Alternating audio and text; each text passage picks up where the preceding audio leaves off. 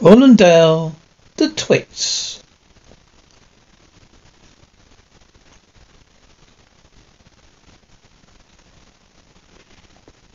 Chapter 1 Hairy Faces. What a lot of hairy faced men there are around nowadays. When a man grows hair all over his face, it's impossible to tell what he really looks like. Perhaps that's why he does does it. You rather like you don't know. As then, then there's a problem washing.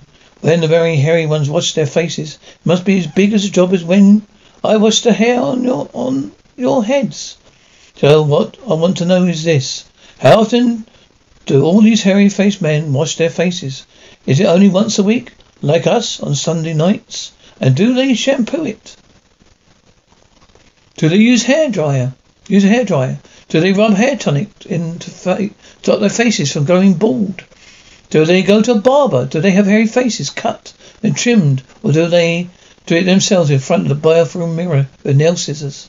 I don't know. But next time you see a man with a hairy face, which will probably be as soon as you step out on the street, maybe you could look at him more closely and start wondering about some of these things.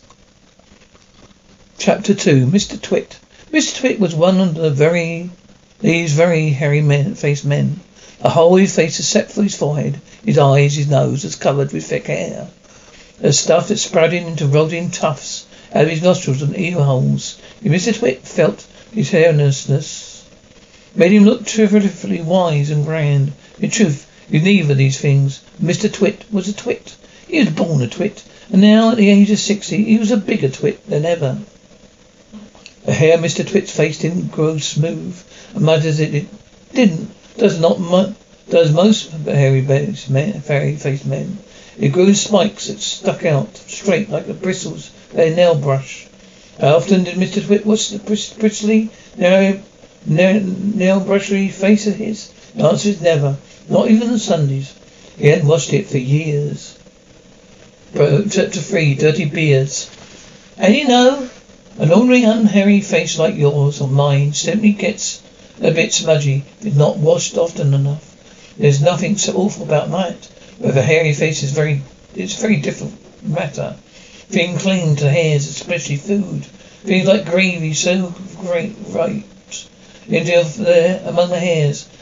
Go right in among the hairs and stay there. You and I can wipe your faces smooth. Your our smooth faces with flannel. They quickly look more or less all right again, but the hairy men cannot do that.